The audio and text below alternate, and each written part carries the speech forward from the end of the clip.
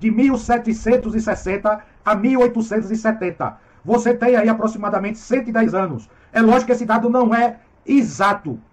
Houve um grande advento na história da humanidade que configurou a primeira revolução industrial. Deixa eu logo dizer para você por que, que se usa esse termo, revolução. Por que, que nós estamos na quarta revolução? Evidentemente porque nós tivemos a primeira, a segunda e a terceira. Mas o que dizer deste termo revolução e por que nós usamos o termo indústria associado com essa palavra revolução? Porque ela representa uma quebra abrupta de paradigmas, de costumes. É uma forma de representar uma mudança de comportamento na sociedade, nos meios de produção, na forma como a sociedade interage com o seu meio ambiente, na forma como a sociedade interage com o seu próximo, em sociedade. É o que nós chamamos de disruptura. A primeira revolução industrial ela tem uma característica muito expressiva, que foi a invenção da máquina a vapor pelo escocês James Watt. Mas veja bem, eu não quero aqui lhe enganar nem lhe iludir.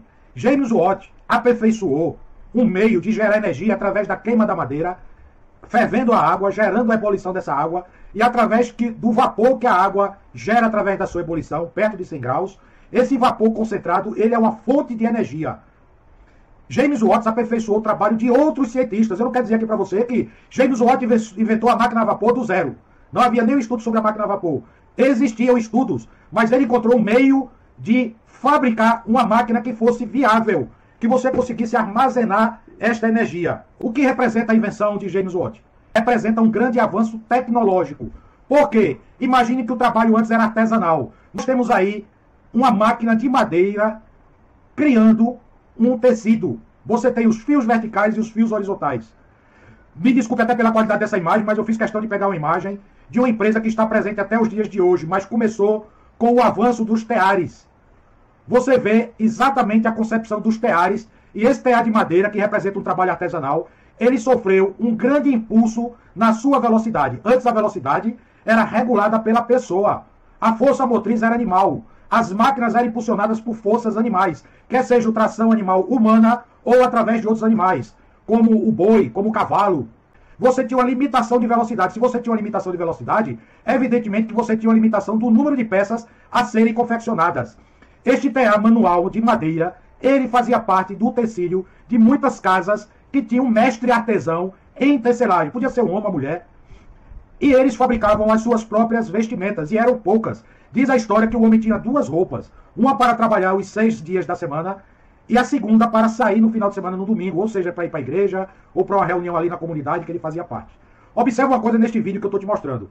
De repente, na Toyota, que antes se chamava Toyota, Estilo Toyota, observando a sua mãe trabalhando no tear de madeira, começou a ter ideias. Em vez do fio horizontal ser impulsionado manualmente, ele pensou numa maneira mecânica de impulsionar este fio horizontal e desenvolveu equipamentos de madeira. Pensa comigo, esse equipamento teria força, teria resistência mecânica de ser impulsionado por uma máquina a vapor. Deixa eu te trazer um dado importante, rápido. Na primeira, nós temos aí uma máquina de madeira. Pela Revolução Industrial, com o advento da máquina a vapor, foram inventados vários equipamentos movidos a vapor.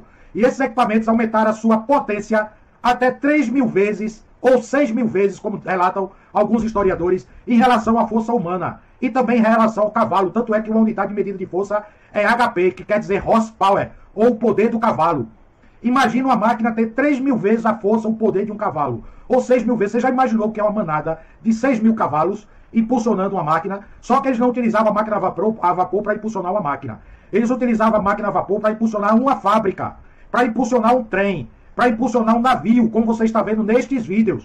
Eu fiz questão de procurar, de pesquisar. Não penso que é fácil, mas está aí para o nosso deleite como a máquina a vapor diminuiu o tempo entre as cidades. Antes a distância era percorrida através de uma charrete, através de um cavalo. Por mais que o cavalo corra, mas ele sofre a fadiga. Uma hora ele vai cansar, uma hora você vai ter que parar o cavalo, ele vai diminuir a velocidade, ele vai ter que se alimentar, ele vai ter que beber água. E neste momento você está perdendo tempo.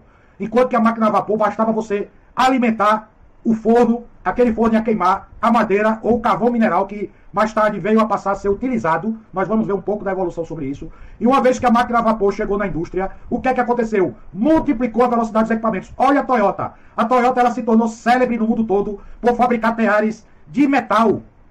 Isso aí já caracteriza um grande avanço para a máquina a vapor. Por quê? Porque diz aí a história que na Toyota um operador era capaz de observar 30 teares. Significa que havia um grande volume de produção sendo fabricado. E onde é que entra a qualidade nisso? Quantos inspetores de qualidade de qualidade tinham? Pensa comigo, meu caro, minha cara. Era um homem inspecionando 30 máquinas, mas era no mínimo 30 inspetores de qualidade, porque cada máquina estava produzindo o tecido que ele tinha que ser inspecionado. Então a qualidade está diretamente relacionada com a velocidade com que a tecnologia evoluiu, com a velocidade com que os meios de produção evoluíram, com a velocidade com que os produtos começaram a serem fabricados em larga escala.